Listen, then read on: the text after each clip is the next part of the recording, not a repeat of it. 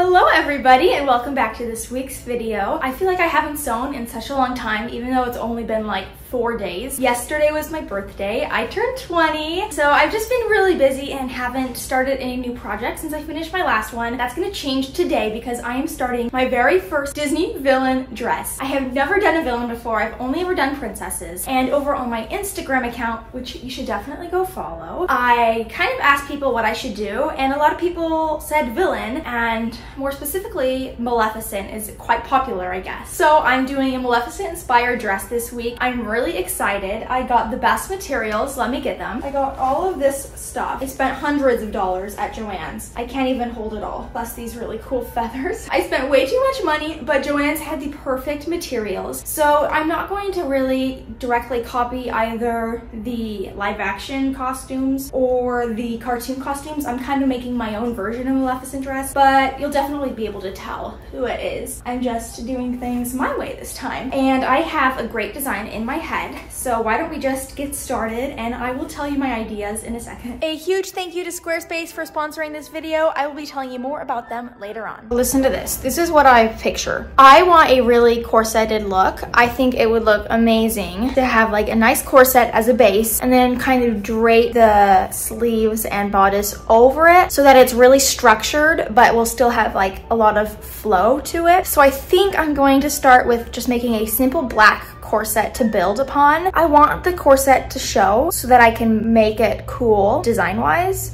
but I also want to like drape it over. So if I drape, then the corset will be covered, but I, I don't know. I'm gonna have to play around, but that's my idea. It's gonna build off of the corset and then I'll have um, some flowy skirts. I do want there to be like maybe a long train or something like that. And then like feathers on the neckline and I need to get horns. I don't think I'm gonna make them because that's just too much work for me. I'd rather buy them off of Amazon and have them look better than anything I could do. So that's kind of where I'm at. It's gonna be kind of dark and I've never really do dark things, so this is gonna be very different for us. Hubert is very, very excited to see how this turns out, aren't you? I think I'm gonna go with the pattern that I used for my Anna dress. It's pretty simple, but it had great structure to it. I might raise the top of it just a little bit, but I kind of like it. I'll just add a lot more boning channels because I want it to be really structured. I have this just black satin that I'm going to make it with. Shouldn't take too long, just making a base.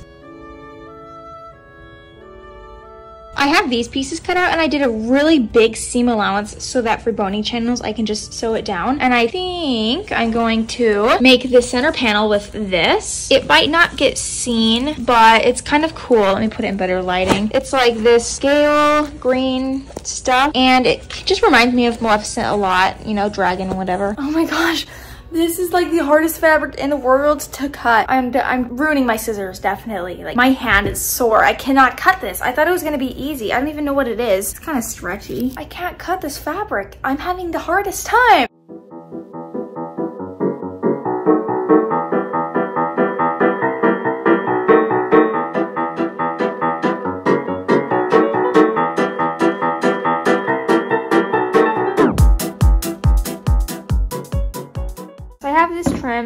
Got it because it was on clearance. There's like three and a half yards and I'm going to bind the edges of this corset with this trim. It's kind of leathery and it matches this very well. So I need to do that really quick so I can do the grommets.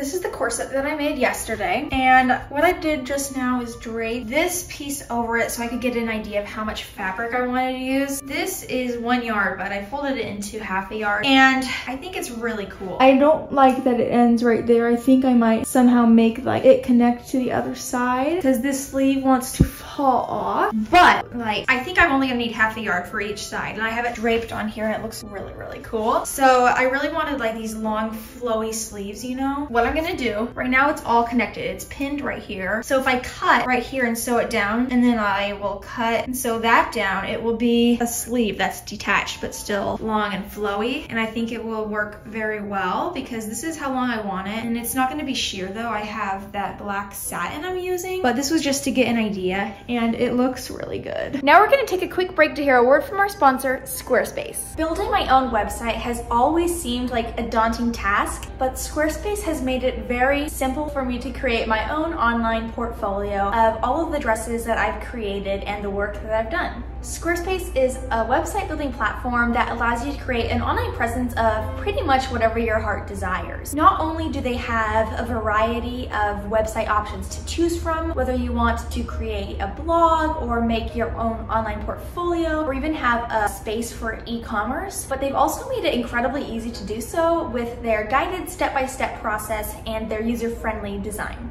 With Squarespace, you're also able to purchase your own domain with no hidden fees, and this way you're able to make a website with the perfect name for you. Go to squarespace.com for your free trial, and when you're ready to launch, go to squarespace.com slash Alexandra Louise or use code Alexandra Louise at checkout for 10% off your first purchase of a website or domain. You can kind of see what I'm working with here. I have three layers on this. I have this black satin, and then I have this color changing one, and then I have this net to kind of smooth over the color change. What I did was kind of like drape it over on both sides. I literally don't know what to do back here because it needs to be pulling over very tightly so that it doesn't fall off my shoulder, but it's also a corset, so I don't know what to do, but I'll figure it out. and I've basted right here where it's gonna get cut, and I'm kind of very nervous to do this, but I'm just gonna go for it, I guess always go get more fabric. I think I'm just gonna cut on this line and then I'll sew it down. I hope I don't mess it up.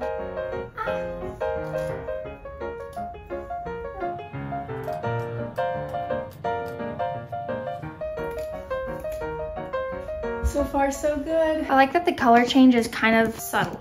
Like you can see that there's purple and green in there, but it's like not totally noticeable. This is where we left off yesterday. It's really cool because since I put that like mesh stuff under it, I, when you glance at it at certain angles, it's black, but then once you have the movement, you get the color in there. Can you see that? It's so cool. It's kind of mostly sewn together right here. I need to hand sew this and I need to make another one on the second side. And I'm trying to figure out how to hem it. I like how flowy it is now. I'm going to hand sew this down really quick, I think ません。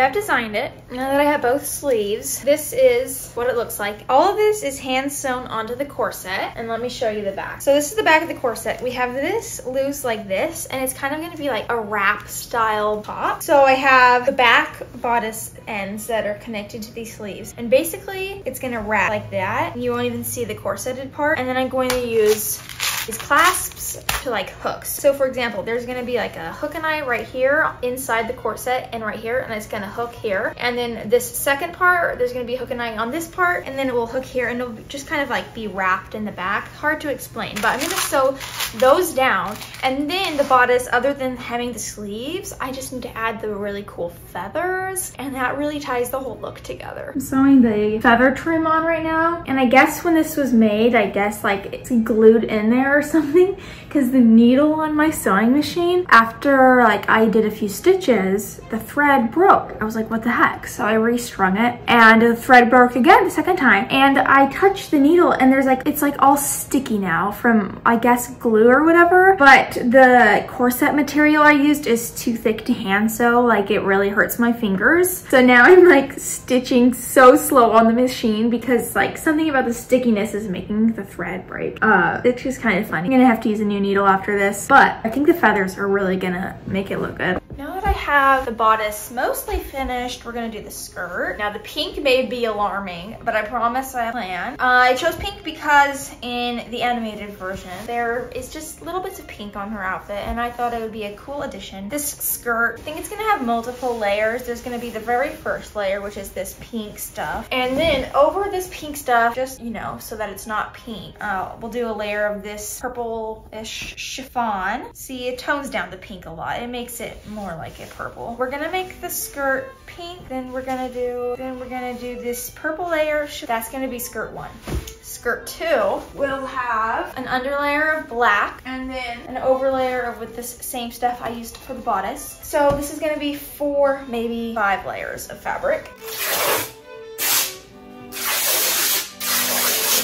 I'm going to try and save as much of this as I can. And I'm going back to the store today and I'm hoping that nobody took the rest of this. It was on clearance. I almost got the whole bolt and then I decided just to get the yardage I needed. But now I'm wishing I got the whole bolt because after this dress, I'm making a Sarah Sanderson outfit and I need some of this, a lot of it. And I'm hoping that nobody has taken it since I was gone because it's like the perfect color that I could really use for it. So I'm going to use this in moderation today just in case I can't find any more of it because I don't have time to order things online for this. I like want it almost to be a slit, nothing that's really, really big. So I'm just gonna cut two or two triangle things out.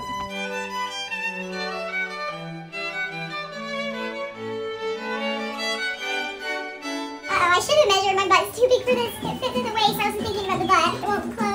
To put a panel. I believe that for the hem of this skirt, the waistband, I'm just gonna use twill tape because it just seems way faster and easier and this is like an underskirt so it doesn't really matter. I think it looks quite nice if I do say so myself. It's gonna go under this and the colors might not look like they match right now. I'm a bit worried, but I think it'll be good because my goal, my vision is I have this skirt right now and then the overskirt I'm doing with the black and like the color changing fabric. Uh, it's going to not be sewn up the center so it will be split. So when you like spin you'll see this under it. So you're not always going to see this but you'll see it with movement and I think that's really cool. I sewed the two like rectangular pieces together I did have to um, gather the purple layer but I centered the gathers in the middle and not on the sides because the middle is what's going to be seen so it lessens the pink. Uh, but yeah, I need to put twill tape on this, um, sew it up, and then I can do the main skirt. This camera really draws out all my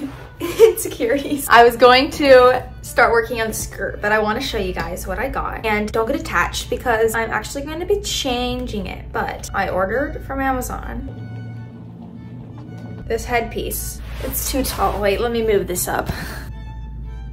Maleficent core. Anyway, I got this from Amazon because I wanted a headband version because I want to have my hair down, but there weren't really any available. So I got this one. It was pretty cheap. It was like 10 or 15 bucks. I'm going to turn it into a headband. I know some people are going to be mad. They're going to say that this is cool, but that's not what I want. It's kind of big. I just don't like how I look without hair. But isn't this so cool? I'm gonna worry about that later. I'm gonna work on the other skirts. Um, basically, I really want a long train, but it all depends on how much of this I have. I think I used a yard for the top. However much I have, I'm gonna make this skirt as long as possible with a train. So let's see, I'm hoping for five yards. I don't remember how much I got at the counter.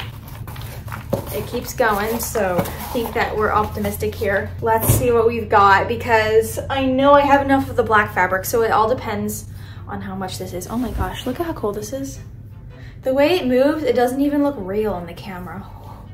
Okay, let's count this out. I don't know if it's just my location, but the ladies at Joann's are always, they're so unpleasant. Like, I do not like coming to my location. It is not fun. I feel uncomfortable the whole time, but I did get what I needed for my next Sarah Sanderson costume. Oh no, I was gonna get a black sheer fabric for that skirt and I didn't, but I'm not about to go back in there, so hopefully it will look fine without it because I don't want to go back. I have to take my baby Hubert to the vet in an hour, so I'm going to try and finish the skirt. Before that, it's actually going to be quite simple. I'm just cutting out, I'm covering my foot, I'm cutting out the waist circle thingy right now, and I already cut out the perimeter. This fabric is so cool because like, especially in person, this literally just looks black and then you rotate and it's like bam it's purple and green it's just so cool depending on the lighting I'm working on the final stages of the dress, um, gluing these ears on. They were hollow, so I had to add stuffing to it. It's not as easy as I thought it was. I already had them glued on, but then I realized that the headband, like when you put it on, goes like that. So the ears were touching. So I had to kind of move them apart so that the spacing is right when you wear it. And I'm letting the glue dry. I think they're gonna look okay though.